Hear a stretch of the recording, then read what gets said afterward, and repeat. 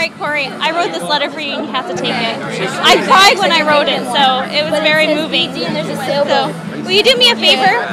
Will you say hi, Fickle Pucker, on the camera? I did. Yeah, Hi, Fickle Pucker. Okay. Thank you. Mm-hmm. I Fickle so much.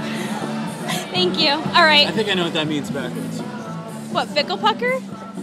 Oh, yeah. Oh, yeah. You're right.